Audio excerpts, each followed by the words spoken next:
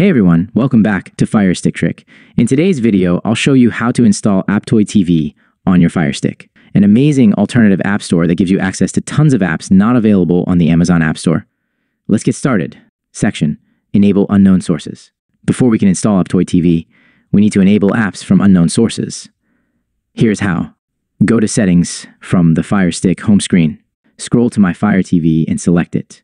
Click on Developer Options. Find apps from unknown sources and turn it on.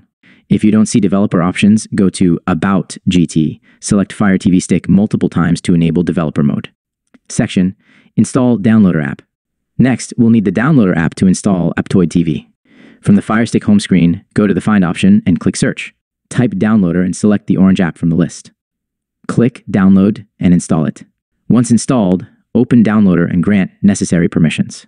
Section Download and install Aptoide TV. Now, let's download and install Aptoide TV. Open the Downloader app. In the URL box, type. The APK file will start downloading. Once done, select Install.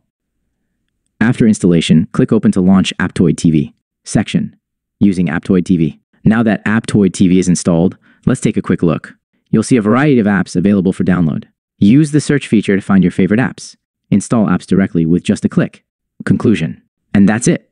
You've successfully installed Aptoide TV on your Fire Stick. If you found this guide helpful, don't forget to like, subscribe, and hit the notification bell for more Fire Stick tips. Thanks for watching, and I'll see you in the next video.